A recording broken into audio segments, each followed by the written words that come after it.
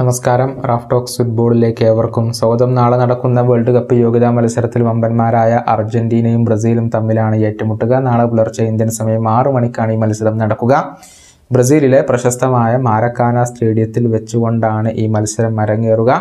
രണ്ട് ടീമുകളെ സംബന്ധിച്ചിടത്തോളവും ഈ മത്സരത്തിൽ വിജയം മാത്രമായിരിക്കും അവർ ലക്ഷ്യമിടുന്നത്. കഴിഞ്ഞ കോപ്പ അമേരിക്ക ഫൈനലിൽ ബ്രസീലിനെ പരാജയപ്പെടുത്തിക്കൊണ്ടായിരുന്നു അർജന്റീന കിരീടം നേടിയിരുന്നത്. അതും ഇതേ മാരക്കാനയിൽ വെച്ചുകൊണ്ടായിരുന്നു നടന്നിരുന്നത്. നമുക്കറിയാം ആ മത്സരത്തിൽ അർജന്റീനയുടെ വിജയ ഗോൾ നേടിയത് സൂപ്പർ താരം ഏഞ്ചൽ ഡി മരിയയാണ്. അദ്ദേഹം സ്റ്റാർട്ടിംഗ് ഇലവനിൽ തിരിച്ചെത്തും എന്ന റിപ്പോർട്ടുകൾ ഇപ്പോൾ പുറത്തേക്ക് വന്നു കഴിഞ്ഞിട്ടുണ്ട്. പി എസ് ജിയിൽ ഡിമരിയക്കൊപ്പം ഒരുപാട് കാലം കളിച്ചിട്ടുള്ള ബ്രസീലിയൻ സൂപ്പർ താരമാണ് മാർക്കിഞ്ഞോസ് അദ്ദേഹം ഇപ്പോൾ ഡി മരിയയെക്കുറിച്ച് കുറച്ച് കാര്യങ്ങൾ പറഞ്ഞിട്ടുണ്ട്. അതായത് ഡി മരിയയെ സൂക്ഷിക്കണമെന്നും ഏത് നിമിഷവും പണി തരാൻ അല്ലെങ്കിൽ ഡിസിസീവ് ആവാൻ സാധ്യതയുള്ള ഒരു താരമാണെന്നും എന്നുമാണ് മാർക്കിഞ്ഞോസ് ഇപ്പോൾ പറഞ്ഞിട്ടുള്ളത്. അദ്ദേഹത്തിന്റെ വാക്കുകൾ ഇങ്ങനെയാണ്.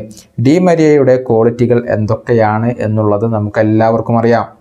അദ്ദേഹം വളരെ നിർണായകമായ ഒരു താരമാണ്. ഏത് നിമിഷവും ഡിസിസീവ് ആവുന്നതിനാൽ ഞങ്ങൾ വളരെയധികം ജാഗ്രത പുലർത്തേണ്ടതുണ്ട്.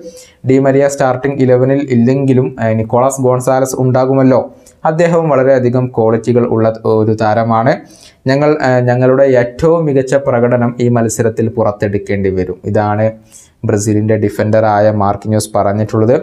ബ്രസീലിന്റെ ഡിഫൻസ് വളരെ മോശം ഒരവസ്ഥയിലൂടെയാണ് ഇപ്പോൾ കടന്നുപോയിക്കൊണ്ടിരിക്കുന്നത്. അവസാനമായി കളിച്ച മൂന്ന് മത്സരങ്ങളിൽ നിന്ന് അഞ്ച് ഗോളുകൾ അവർക്ക് വഴങ്ങേണ്ടി വന്നിരുന്നു. അതുകൊണ്ട് തന്നെ മെസ്സിയും ഡീമരിയയും ലൗറ്ററോയും ഒക്കെ അടങ്ങുന്ന മുന്നേറ്റ നിര ബ്രസീലിന്റെ ഡിഫൻസിന് വലിയ തലവേദന സൃഷ്ടിക്കും എന്ന കാര്യത്തിൽ സംശയങ്ങളൊന്നുമില്ല. ഈ വീഡിയോയുടെ അവസാനിപ്പിക്കുന്നു. വീണ്ടും കാണാം.